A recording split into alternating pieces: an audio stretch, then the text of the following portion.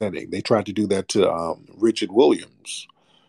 And then they tried to kind of play him to the left with um, Venus and Serena's dad because he didn't play games.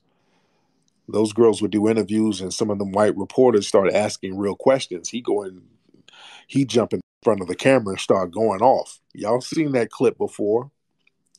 Y'all seen that clip of um, I think it was Venus was doing an interview, and the white reporter was like, "You seem very confident." She's like, "Yeah, I am." So why are you so confident? Where'd you get it from? I don't know. And then Richard jumped in. She said what she said, man. That's a child, man. She said she is confident. Now, why are you trying to tell her something different? Now, go on about your business and answer the goddamn question. Answer something else now. He snapped. That's a child. That's a black child. She said what the hell she said. Ask her something else, goddammit. Don't keep asking her. She's answered you one motherfucking time now. Ask her something else.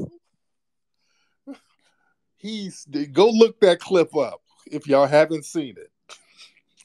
He snapped. The white man didn't know what to do. Oh God, can someone get him, please? Oh God.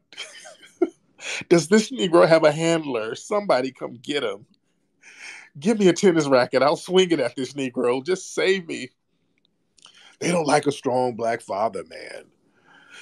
They don't like that, man.